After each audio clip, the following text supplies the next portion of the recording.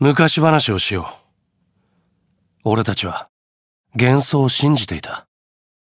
まやかしに気づきもせず、嘘を疑おうともしないで、偽りの楽園で、ぬくぬくと暮らしていた。あんたも、俺もだ。この世は危険に満ちた地獄。人間が安全に暮らせる土地は、空に浮かぶコクーンだけ。そう信じて生まれ育った俺たちは、コクーンを出てみようなんて考えもしなかった。まあ、出たがるはずもなかったな。ほとんどの人間は、コクーンでの生活に満足していた。コクーンを支えていた万能の存在。ファルシュたちに養われていたようなもんだ。だからコクーンを治める政府の人間がファルシの言いなりになっていてもまあ当然だと思っていた。お優しいファルシ様たちが人々を大事に守ってくださる。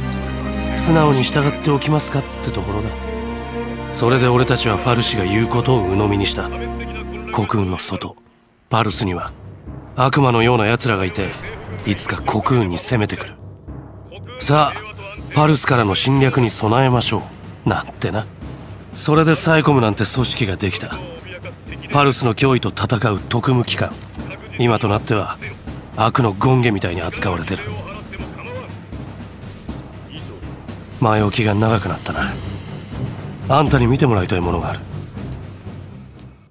こいつは政府の内部資料だ。あの動乱の記録なんだが作ったやつが面白い。あんたも知っているはずだ。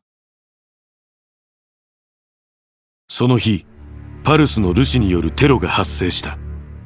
エウリーデ教国のエネルギープラントに2名のルシが侵入。プラントを管理するファルシ・クジャタは防衛体制を整えるべくその場にいた市民に力を与えた。わずか6歳の少年が政府のルシに選ばれたのだ。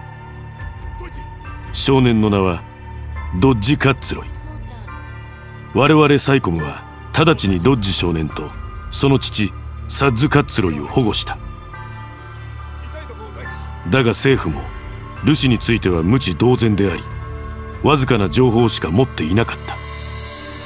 伝承によればファルシによって選ばれたルシは使命を課される。使命を達成できればクリスタルとなるが目的を達成できなければ死骸と呼ばれる魔物と化す。ともあれ一連の事象から我々サイコムはパルスからの侵略が開始されたと推測。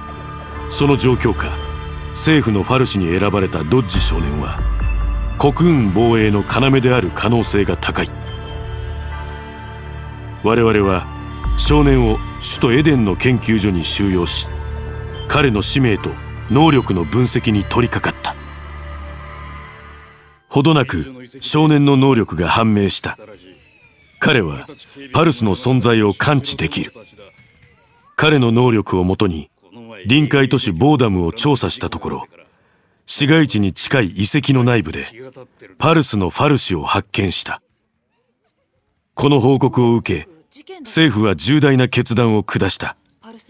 政府は臨海都市ボーダムの市民がパルスの存在に毒されている可能性を踏まえ彼らの排除を決めた。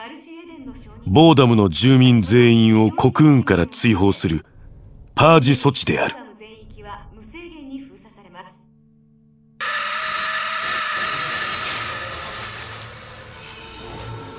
その際に民間人の男女2名が警備網を突破し一人の少女が遺跡に入ったとの報告があった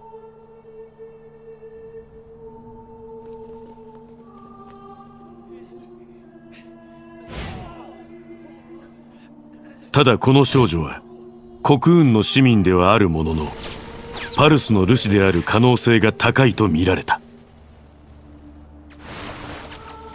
表向きパージ措置の目的はボーダム市民の追放だと発表された。だがパージの真相は非道ですらあった。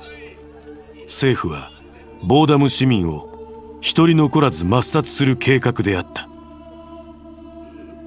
命令を受けた軍はパージされた市民を国運辺境のハングドエッジへ移送した。人目につかない無人地帯で処分を行うためである。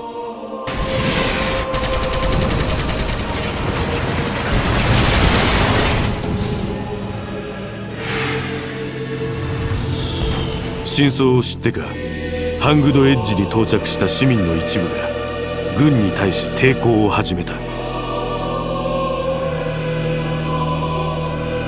さらに移送中の列車内でも反乱が発生。